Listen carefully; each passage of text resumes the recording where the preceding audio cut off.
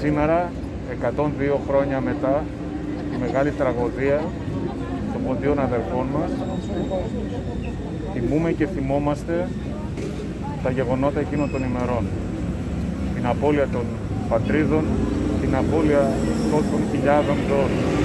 Αλλά και σήμερα αγωνιζόμαστε για να δικαιωθεί ο αγώνας Ο Δήμος Θεσσαλονίκης αποστέλει 40 περίπου επιστολές στις αδερφοποιημένες πόλεις ανά τον κόσμο, τονίζοντας την ανάγκη, την αναγκαιότητα για την αναγνώριση της γενοκτονίας των ποντίων.